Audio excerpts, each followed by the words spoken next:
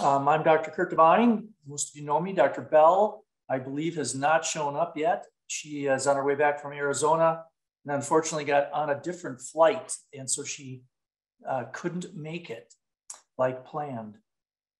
So we'll, uh, so we'll go without her.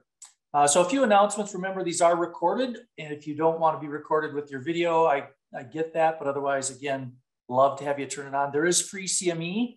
And just make sure that you fill out the little thing afterwards and you get the little CME for this. That's one credit. Um, and if there's more than one person that's in your room, please uh, tell us the names of who's in your room so that they can also get the free CME. Make sure you rename yourself. Everybody's pretty good at that in the in the days of COVID now. And uh, uh, remember, uh, case presentations are always fun. I think we have one today uh, that we're going to talk about that's actually pretty interesting. Uh, Heather and I went through that this morning. It's a great case. So that should be a lot of fun. Um, we have some up, upcoming ones. Next next week is actually addiction, or two weeks from now, I'm sorry, addiction screening and treatment basics. And, uh, and as you can see, lots of, uh, lots of other great talks coming. Uh, remember our Wednesday Echo tomorrow has been canceled. We have uh, some excitement going on in our little group. And uh, so we canceled it because of some other things. We'll tell you about that later. We may have pictures, but uh, we had some, we did have a reason we had to stop that. But on the 26th and the 2nd, Cole, Cole's coming back, Dr. Cole. He's both toxicology boarded and now an addiction fellow and he's going to be doing a great talk on the uh, antidepressants, the negative consequences. Uh, should be a great talk. So please be, feel free to come for that. This week we actually have testing options uh, from the from Mayo Clinic. Uh, we have one of our physicians from the Mayo Clinic talking about the different home tests, how good they are, the limitations. Should also be a great one. Uh, we just released uh, another methadone talk with Dr. Charlie Reznikoff today. It's a really a fun talk just the nitty gritty of uh, methadone and methadone clinics. So if you want to learn a little bit more about that, so you know what your patients who are coming to you who want to be switched from methadone, what goes on at the methadone clinics should be fun. Remember, we're always here. If you have questions, we get lots of calls. I had a nice call this morning from Wadena about a patient. We're always happy to help you. Uh, and again, uh, call us anytime. We have our phone numbers. So today, this is actually kind of a fun talk. I, uh, I've been working on this one for a while um, and never quite got it done till now, but it was uh, something I've been working on for a while. Uh, basically, it's gonna, we're going to talk a little bit about the, the shared neurobiology of addiction and chronic pain, how basically they're kind of the same thing. And Christy, I just want to make sure, is my audio really good? Yes, very good. Okay, perfect, because I can put on a headphone if I need to. Um, and so we're going to talk a little bit about the basic neurology that's shared by them. And it's really a pretty interesting thing that parts of our brains uh, do both of it uh, uh, or, or are involved in both of these issues. And so we're going to recognize some of the comorbidities often present in both and kind of identify some of those clinical characteristics which are similar in both addiction and chronic pain. So uh, interesting little talk. So chronic pain and opioid use, uh, how do they overlap? And really it's, it's kind of one of those things that's you know, which came first? It's that whole chicken and the egg, or does one always come first, or or can it be both ways? Uh, and I think that that's really an interesting thing. I think all of us uh, believe that typically opioid use disorder is always the first thing that shows up. Uh, sometimes in the heroin crowd and the, in the fentanyl crowd. But then again, we have all the patients that we see who have been on chronic pain meds for a long time, who clearly had chronic pain and then developed opioid use disorder. So there's lots of different ways to look at this. Uh, and so which came first? So they, you know, if we look at the, the literature, there's a lot of chronic pain that predates opioid use and opioid use disorder. And chronic pain can also develop after the onset of opioid use and OUD. So one of the examples of this would actually be when we see patients who have chronic pain, often we'll see them get worse pain or different types of pain while they're on their while they're on their opioids. And, and this is one of the things that causes that is opioid hyperalgesia, which is something that's been described uh, really for a, a long time. I mean, literally for the last 80, 90 years, people have understood that sometimes people take opioids and actually have worsened pain. Uh, as well, it's interesting that, that even though they knew this 100 years ago, uh, if you go to most clinics and you talk to primary care doctors, most of those doctors are not aware of opioid hyperalgesia. And that's something that uh, in different places that we've spoken over the years. We talk about it a lot, uh, and we're going to talk about it a little bit more today. So, opioid use disorder and chronic pain are both commonly com complicated by obviously mental health diagnosis. And Dr. Bell gave uh, really a wonderful talk last week about some of these issues. And really, if you look at some of the most common, it'd really be depression uh, and often anxiety, bipolar disorder, and obviously uh, schizophrenia, which is something that, uh, especially when we were working some in the uh, uh, in the correctional care realm, you see a lot of the schizophrenia and and use disorders overlapping and ending up in incarceration. So really, both of these are complicated by mental health, and I think that's one of the ways that that they intersect. There's really an interesting study, and I don't know how to say this guy's name. I'm just going to say her. Uh, this was a study that was done by uh, this Dr. Her and a, and a, lot of other people. And they re- did really an interesting thing is they took the uh, medical records, they did this all using the EMR, looking at chronic pain among, among patients with opioid use disorder. And, and it was really, they used a ton of patients. It was like 50,000 patients in this EMR and what they did is they broke these patients up into four different groups to try and kind of figure out the whole what came first. And they broke them up into people with no chronic pain who had opioid use disorder. They had people who had opioid use disorder prior to their pain, and also opioid use disorder and pain kind of at the same time. The patient really couldn't say which of them came first, felt like that, that it all kind of came on at one time. And then, of course, you got the chronic pain patients that uh, that got the pain prior to the opioid use disorder. So they wanted to look at these four different groups and just see uh, really what the characteristics of these were and, and give us a little bit better idea of how to better break them up. Um, and, it, and, it, was actually four mil, over 4 million patients. But the funny thing is, if you look at how many patients actually had an opioid use disorder, there's only about 5,000. And I, I think it's that's interesting because you, you really look at opioid use disorder probably hitting about one and a half to 2% of the population. And this would be a really small number, I think, uh, in this study cohort uh, that had diagnosed opioid use disorder. So I'm not sure how the identification of that went, but the reality is they had these 5,300 people that, that they really looked at. One of the problems with this study, and even when I was reading this and you looked about where they got these patients, most of these patients were actually uh, male, white, and had private insurance. This was not a study that was done to kind of give us a good cross section of, of, a normal population, but it was done in, in a place where typically people had uh, had the insurance and, and other things.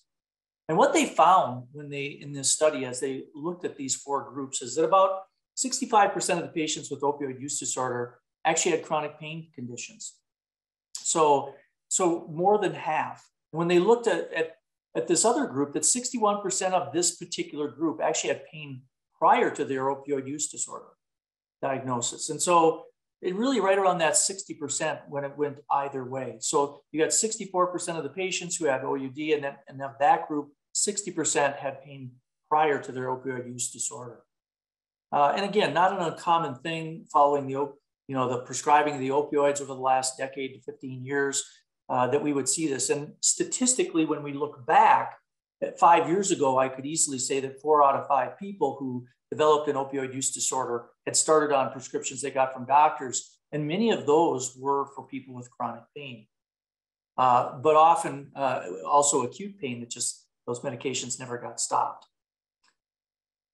So some of the other results that they got were interesting in that patients with opioid use disorders prior to developing pain were more likely to have another substance use disorder. So basically, what they found is that patients who developed an opioid use disorder and then developed pain, and again, uh, often they would develop pain because of things like opioid hyperalgesia uh, caused by the opioid. And we'll, again, we'll talk about that in a moment.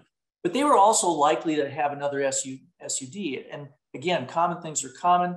And the things that we often think about would be things like alcohol, uh, uh tobacco could certainly be considered in there, but cocaine, methamphetamine, and other things. Patients who, uh, with an opioid use disorder first, uh, as you might expect, also had the highest risks of the infectious complications because if these patients were using IV, often they would be getting HIV and hepatitis and, and other things that could be passed on.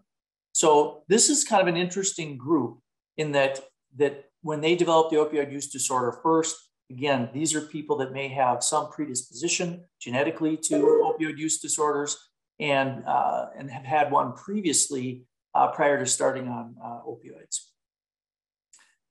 Now, when they looked at the patients who developed chronic pain first, and if we think about the patients that we see in our clinics who develop chronic pain in their 30s and 40s, which uh, you know I've I've clearly seen in my career, these patients very often or, or had significant higher rates of mental health disorders, heart disease, respiratory disease, sleep disorders, cancer, and diabetes. So in general, this is a group that is not healthy, and there's a lot of reasons that people think that this is this is the case. That often these are people who had many medical troubles from the beginning. Uh, they may smoke a lot, they may drink a lot, they have uh, poor genetics, and they end up developing a lot of different uh, issues that then lead to them being on opioid use, you know, being using opioids from the physician. So much higher rates in, in patients with chronic pain of those, of all of these things, not just the mental health disorders. And if you look at uh, back at that group with the opioid use disorder prior to their chronic pain, again, we, we just mentioned a little bit how this is a group that often uh, has another substance use disorder, but the highest prevalence is really alcohol. And I think often we forget about alcohol when we talk about heroin and we talk about methamphetamine. Uh, still far and away, alcohol is legal. People can go and buy it. Uh, and so it's very, very common that people will develop that and then get put on um, opioids. And I can tell you, I, I'm thinking of one of my patients right now who was uh, having issues with alcohol from the time he was 20 uh, and then developed chronic pain and was started on opioids. Um, you know, and this is just a common, common thing. Uh, this group has the highest incidence of alcohol or drug induced disorders. And again, that whole list of all the different things that can occur when people are using alcohol uh, and mixing it with opioids as well. So a very common issue with people who develop opioid use disorder that they had a previous substance use disorder. When we look at when pain developed prior to or at the same time as an opioid use disorder, uh, these patients, again, interestingly, had much higher use of different things like sedatives, hypnotics, uh, sleepers, uh, you know, the benzos, all of those different things. And they actually had the lowest rate of alcohol, marijuana, and amphetamine and cocaine and uh, hallucinogenic use.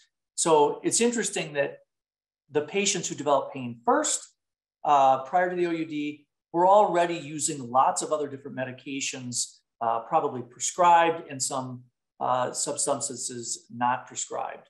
It's not uncommon for us to see somebody who is buying benzos on the street uh, and sleepers on the street who have had chronic pain um, and developed op opioid use disorder. Uh, these things are easily uh, bought, and, and we see that a lot. So um, again, a little bit of overlap here. If you look at the results of this study, 70% of this entire sample, so if we take this whole group, 70% of them had comorbid mental health disorders. So as a group, this is a, you know, whether, whether it came first or second, this is still a group that has an enormous amount of mental health disorders. Uh, they really have the lowest prevalence uh, in, in the patients with opioid use disorder alone. Uh, and I can tell you that, that early on, four and five and six years ago, it was not uncommon for, for me to see somebody with an opioid use disorder who was using heroin. And one of the, one of the hoops that you had to jump through to get uh, Suboxone was you had to go through a mental health eval.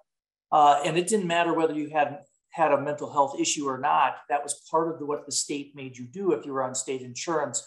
And it was very common that these patients did not have a mental health disorder. And I, I had numerous ones of them who did not want to go through the and, and go through a whole hour with a therapist of, because they didn't feel like they had a, any type of mental health issue. So uh, that is the group that has only the opioid use disorder and nothing else uh, that will uh, often uh, pop in. So just to just to touch a little bit on the opioid hyperalgesia, you know, just as an aside here, um, when we look at patients who've been on opioids for prolonged periods of time, they will develop opioid hyperalgesia, which is basically a state of kind of this enhanced pain sensitization. Uh, and, and I can tell you that often you don't diagnose this until their opioids are discontinued or tapered. And so it's one of those diagnoses often you don't make until you've done something uh, and we have a lot of conversations with patients about being on long term opioids. and feeling like that their pain is worse than it was. And there are some tricks to kind of understanding whether or not uh, that is the that is the issue. And again, this is something that was first described in 1870. So we're talking 100 and, 150 years ago uh, when Dr. Albert said, at times I have certainly felt it's a, it a great responsibility to say that pain, which I know is an evil, is less injur- injurious than morphine, which also may be an evil. Does morphine encourage the very pain that it pretends to relieve? And, and I can tell you it is frequent that that occurs. And it was noticed even back then that some of the patients that they had on morphine seemed to have more pain than they did prior to starting it. So, so just keep that in mind that I think that one of the things that we've got to, um, you know, that we've got to think about is when we see these people and they're having pain that's, that's different, we have to think about it. One of the things you think about with opioid hyperalgesia is that um, the pain can come on, it can be different. Sometimes people will have pain that seems to be the same as it was before they started opioids. It's just markedly worse as you go up on their doses. Um, I would say more often I will see patients who will have developed multiple other types of pain. So they will have more generalized pain. And again, they'll have almost this diffuse uh, allodynia, where in fact, things that normally would not seem like they would hurt or be uncomfortable to them uh, is unbearable. And, and they're sensitized. And so that pain um, seems to come on with just about anything that they do. And, and often, again, the higher we go on the dose, the worse their pain seems to get. So, so again, think about opioid hyperalgesia as we look at these patients because often it can just be just very different. It can be vague pain. It can be, it can be just generalized pain uh, that they didn't have prior to this. So let's talk about, this should say chronic pain, common brain mechanisms of chronic pain and addiction. This was actually in Neuron 2015. And we're going to talk a little bit about, about this paper that uh, was in Neuron, just because it's really interesting how they looked at the common mechanisms. Because I think that that's the thing that we want to think about is how are these actually the same or how, how come there's so much in common with chronic pain patients and patients with addiction? And what is the mechanism? And chronic pain by some is kind of considered to be a CNS, CNS disease it, you know, that whole saying, well, it's in your head. Uh, well, it's not really in your head. It can be in your brain and your spinal cord and the way your body manages the sensations that it gets and how over time this can change. If you look at both pain and addiction disorders, they're actually characterized very, by very similar things. Um, and actually, that should say fun there. The end kind of, I don't know how that dropped out of there. Um, but these patients will have difficulty having any pleasure. Uh, they tend to be compulsive uh, and drug seeking. They tend to be very stressed out and very anxious. And both pain and addiction have these similar issues. And, and let's look at them a little bit, a little bit more. What really drives that? What really drives the, these issues where people end up with both addiction and chronic pain? And one of the things is really reward deficiency. And reward deficiency is, is kind of an interesting thing. Um, reward deficiency um, is really kind of this neuro neuroadaptation of pain, right? So they, uh, if you get this continued activation of the reward circuits, what happens is over time there's a depletion of the things that normally would give you pleasure, and that would be dopamine. So as we continue to get this activation uh, to this pain, suddenly we start running out of dopamine, and then we, you know, I hate to say we go into a funk, but things just things then don't seem the same. And so what this leads to is that that decreased pleasure, that decreased motivation, often things that it, you know we see in patients who are using heroin or fentanyl or, or IV opioids. But if you think about the patients that you have with chronic pain, one of the things I think about all the time is how when I would inherit some of these patients, they weren't doing anything. They stayed in their house. They, they, there was nothing about their life that was fun. They had no pleasure, no social outlets. They're using opioids all day and they're just making sure that they get their pills on time. And, and so they've, they've basically over time with their pain and some other things that we'll talk about have just basically depleted their dopamines and they, and they just sit um, and they watch TV and that is their day. Um, if you look at the flip side of that, like at the bottom of the list is anti-reward, okay?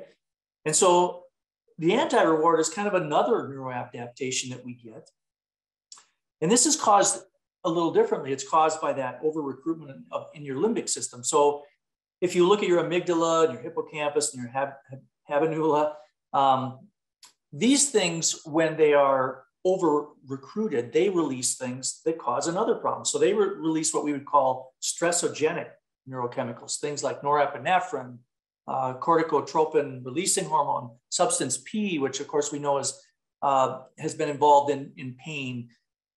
And so when you release all these, what happens is you tend to get more anxiety and fear and depression. And, and one would think probably then the way you perceive your pain is much worse.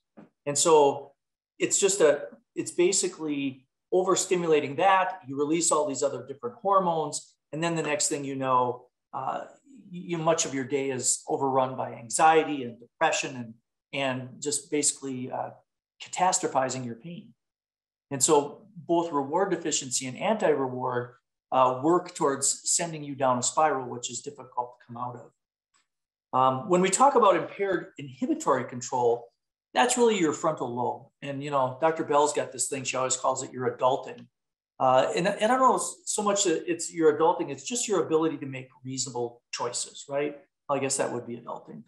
Um, and so if you lose that ability to, to make these good decisions and to have your, and to lack that motivation, a lot of things are going to happen that aren't going to be good, right? So in addiction, the motivation to obtain drugs, of course, is disproportionately higher than the actual value of that substance. And what, what, what I mean by that is often people want it more than they like it. And if you talk to patients, what happens is they spend an enormous amount of their time trying to get their substance, right? They're driving clear to the Twin Cities, they're working extra hours to get the cash, they're doing all this stuff, and they horribly crave and want this substance.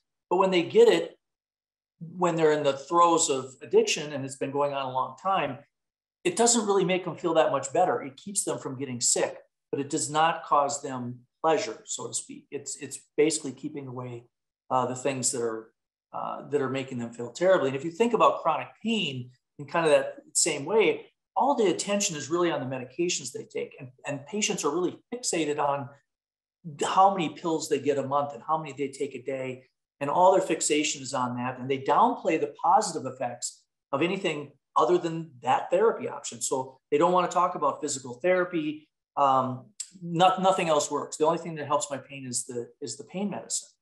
They don't want to exercise. They don't want to go to therapy. Um, and so that's really difficult.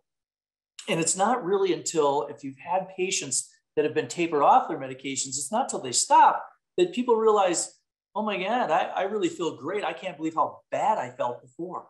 And, and they don't understand when they're in the middle of it how poor they actually feel. And so I think uh, that that's it's an interesting thing how the focus for a chronic pain person is often the pills, and, and they will hear nothing else about the other things that might be helpful to their particular situation. Um, when we look at, um, you know, when we look at uh, uh, some of the other things like the aberrant learning, which is on there. I think this is something that, that clearly, obviously, we all understand with addiction that uh, it's that complete kind of disregard uh, for anything that's um, that's not their drug, right? So uh, they're basically not concerned about anything that's going to happen to them, the negative consequences. And I think that if we look at with pain, pain medications and and all these things, they become less and less rewarding and less and less effective as time goes on. Um, but at the same time, they interfere with everybody's daily functions. Uh, they interfere with their social lives. They interfere with everything. But patients don't recognize that. They minimize that. Uh, and, and they've learned that when they get the medication or they get their substance that they're, they might be misusing, uh, that is the only thing that matters. And again, it's that wanting it more than, than liking it.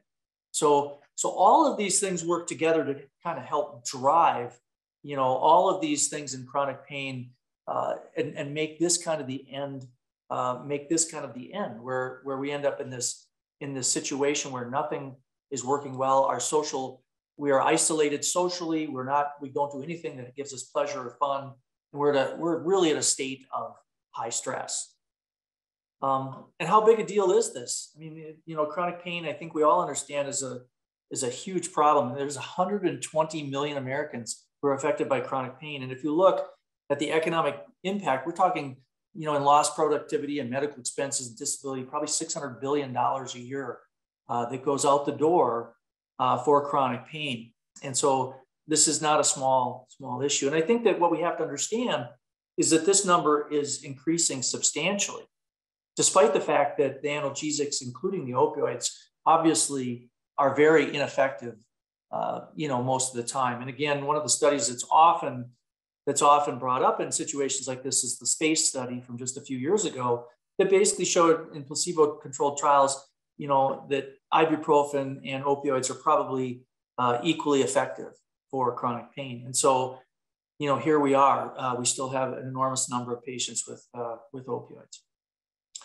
I think whenever we're talking about chronic pain and we're talking about um, addiction, we always need to understand a couple simple things as well that you need to kind of keep in your back pocket about how how these things uh, have such similar uh, descriptions. And reward is something that that clearly we see in addiction where people use, and that is the reward. It's a kind of a pleasurable and motivating process, right? And and we see that as well when we look at uh, chronic pain because of when they get their pills, it's almost exhilarating. It's exhilarating uh, to get that pain to go away, if you will, even though most often the pain doesn't go away, but it's the it's that feeling of of uh, pleasure when we can actually uh, take our medications, which can be contrasted with, with the word pleasure. Okay, pleasure is different. Uh, it, it kind of represents kind of a kind of a variety of uh, affective states. You know, uh, supporting kind of the satisfaction of immediate needs. So when we talk about pleasure, really it's about supporting the satisfaction of immediate needs like food, water, and sex, right? And social behaviors, attachment, things like that. Um, so those are things that typically give us pleasure which is different from euphoria. Euphoria is completely different in that it's more of this affective state of well being and self confidence and sociability that we get. And, and if you've seen somebody who's recently used heroin or fentanyl, you will see somebody who is clearly euphoric. Uh, they're very confident, they're very chatty um, if until they fall asleep, but they often, it's just a different thing. And we see this as well early on when people use alcohol. This uh, feeling of being social, this feeling of confidence and uh, being able to uh, work with the situation, even in patient, even in people's lives when they don't know people, alcohol often is what they use to increase that. So, can we use addiction neurobiology to understand chronic pain? Uh, you might you might surmise that probably if I'm even talking about it that that yeah we probably can uh, because there there's such overlap in what's going on in the brain. Uh, I think it's important to understand that there aren't any clinical studies that directly link chronic pain and addiction, but there's like really a big body of evidence that suggests a couple simple ideas of how they are related. Um, number one, there are substantial overlaps between the brain regions that are engaged by both pain um, in its onset, offset, and the addictive drugs and analgesic drugs, right? The same parts of the brain are affected in both of these two issues or and are involved in how things progress with time. Uh, and they've done this through many studies, as you can imagine, when they're using different types of brain scanning and uh, uh, spectrographs and different things that show us what part of the brain's uh, being involved in these situations. And number two, I think that it's important to understand that there's a predisposition for addictive behavior. Uh, and that's ingrained in pain neuropathology uh, because of some of these neural changes that are comparable very comparable to long-term substance abuse. And you can see this in patients who really never had a history of prior substance abuse. They will still have this predisposition. And so there, there's significant overlap in, in these two areas. Um, and the bottom line is it's really that relationship between chronic pain and addiction that, that, that can probably be explained by partly shared neural systems. It's all these different parts of the brain, the amygdala, and all these parts of the brain that, that help with help us end up in a situation where chronic pain either uh, continues or worsens. And we see as well with addiction, the certain parts of the brain that are basically hijacked. Um, and both chronic pain and addiction are associated with dopaminergic surges, right? That's what gives us our rewards. And when we look at what happens to people's dopamine in chronic pain when they get their medications or when in chronic or in chronic uh, substance use where uh, patients get that reward motivation the same learning centers are being used in both of these situations and how they manage and how they move through their disease, if you will, uh, is very similar because of dopamine. Dopamine is kind of that link that basically ties these things together. So as a wrap up, we're gonna we're gonna do this, and it's it's kind of interesting because if we look at the DSM-5, some of the DSM-5 criteria of how uh, how we diagnose a, su- a substance use disorder, in this case, an opioid use disorder, and some of the things that also play a part in chronic pain, they're very similar. Okay, and and so I'm going to show you some of these just because it's, it's pretty interesting. If you look at the criteria for a substance use disorder, tolerance is always one of those things that's right at the top of the list. And if you look at chronic pain and you look at pain tolerance, we can see that people in general can become tolerant as well to pain. And we've seen this many times in athletes, victims of torture.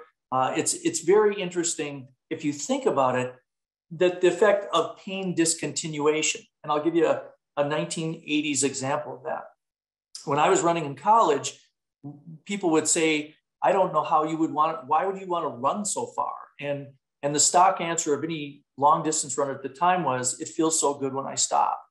Okay. And what is that? That's it, it's the pain discontinuation. You tolerate an enormous amount of pain and it feels great when you stop. And uh, it, I, when I read this, I, I thought of that right away um, because that was just what we always said is, oh, it feels great when I stop. It's kind of that, you know, hitting your head with a hammer feels good when I stop.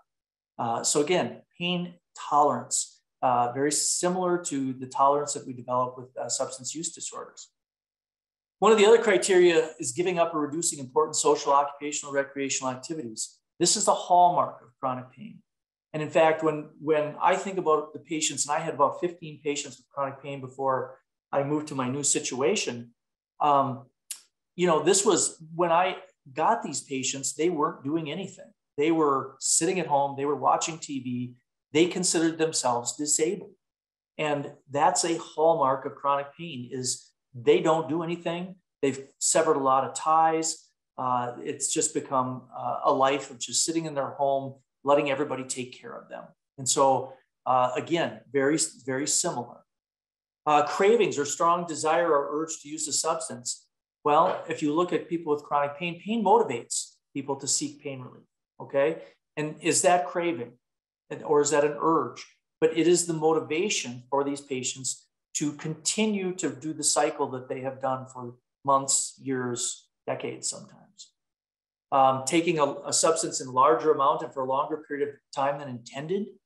Well, I think that that have you if you've taken care of people with chronic pain, it is that compulsive seeking of opioids um, is driven by the desire to get rid of their pain that is not you know, is inadequately treated. And I and I think that that's the key is that I would never say these patients don't have pain because they do. And often we're the person giving them the pain with the medications that we're using. But they consider their pain inadequately treated. And so, given the opportunity to take more, patients will take more. Uh, very similar to patients with, uh, you know, the criteria for a substance use disorder. How about withdrawal symptoms? It's very interesting that you know, if somebody has built up a tolerance and, and they are withdrawing from heroin or from uh, fentanyl, yeah, they get pretty sick. If you look at patients, they will often develop increased stress when they have chronic pain, kind of this arousal or anxiety. And it, and it a lot of times plays a key role in their pain exacerbation. Often it's, it's they're not in withdrawal, but they're, they catastrophize their pain to the point where they develop these symptoms. I know that uh, one of the speakers we've had on our echo a lot, uh, Dr. Murray McAllister, who's a pain psychologist, talks about a lot about pain catastrophizing and how, how when they get into this situation, it is very difficult for them to understand their pain because their pain basically rules every part of their life. So um, they can develop similar symptoms. Taking a substance to relieve withdrawal uh, is very similar, in fact, to people self inflicting pain to improve their negative affective states. Um, one of the things that, and I've seen this where patients will self inflict pain. And in fact, inflicting worse pain that they have often re- releases dopamine, and patients will then actually feel better. And so, although it's a very uh, difficult cycle to end up in, uh, this is clearly something I've seen where patients will actually inflict more pain to, to receive to receive that dopamine surge uh, and almost pleasure from the discomfort. Uh, I think often we find people and they're doing self-injurious things. And I think we, we forget that a lot of times when they do that, they actually get a dopamine surge and feel better, uh, at least affected. Uh, I think this is the last one uh, they continue to use despite the knowledge of adverse consequences. Uh, the clinical characteristic of pain is that pain relief is can be exhilarating, and and they and the consequences to them uh, are less important. It's about it's about the exhilaration of uh, pain relief or perceived pain relief. So, if pain and addiction kind of share a common, um, whoops, I think I, whoop. so if pain and addiction share a common neurobiological function, there could be significant implications in the treatment and monitoring. I think that's the thing that we have to, uh, that we really have to think about is that, you know, how is this going to help us to know these things? And I think that's what's important. And I think we got to look at this for two different ways. Number one, the exposure to addictive substances can predispose a patient to development of chronic pain, whereas the development of chronic painful condition can, may increase the risk of substance use disorder. So if we look at the first one, you know, if we've got somebody who's been exposed to addictive substances and and understand that this can predispose a patient to development of chronic pain, what where do we where do we step in or what do we do? And I would tell you that most often this is about education for this group. If if patients have been exposed to these substances, maybe they had a uh, maybe they had an injury or a fracture and they ended up on pain meds, and now we're in this situation where it's a concern that, that we're going to be able to get them off. It's really having that talk with the patient about what what can happen on this slippery slope.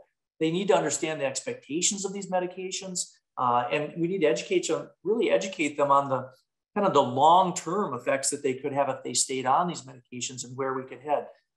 I talk to patients about opioid helper, opioid hyperalgesia all the time. Uh, and even when they've been on medications for a week or two, it's important that they understand if they don't think their pain is getting better, that can already be a sign of opioid hyperalgesia. Um, and again, one of the other things we need to think about in this particular thing, if somebody is using an opioid, for instance, that's being prescribed and we're concerned that it's going to end up being chronic, is do they have another substance use disorder? And that's something we have to we have to always uh, approach.